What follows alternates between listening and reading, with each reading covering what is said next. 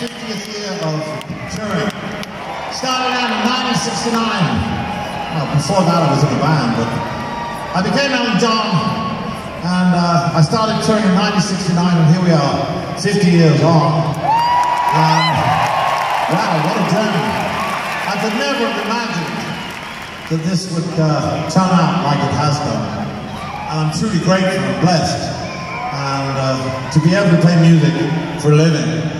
And I've been so lucky and I've been so fortunate. And there's been one constant thing throughout this whole run of amazing success.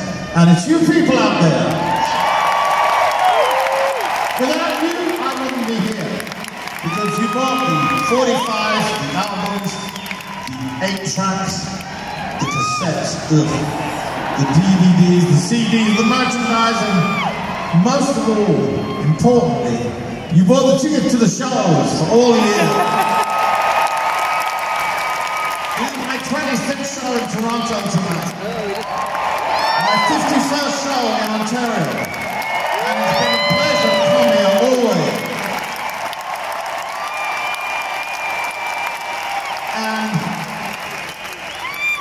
as you might know, the tour is the last tour I'm ever going to do because 10 years ago, I wouldn't have been saying this, but 10 years ago I didn't have my own family, and now I do.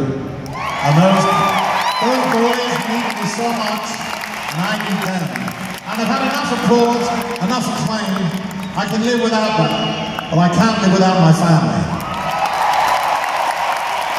But I would like to say one thing. You're in my soul, you're in my heart, you're in every fiber of my being. I've had enough applause to last me a billion lifetimes. I will miss you so much. But I want to thank you for all the love, the loyalty, the generosity, and the support you've given me over those 50 years. I will never, ever forget it. Thank you.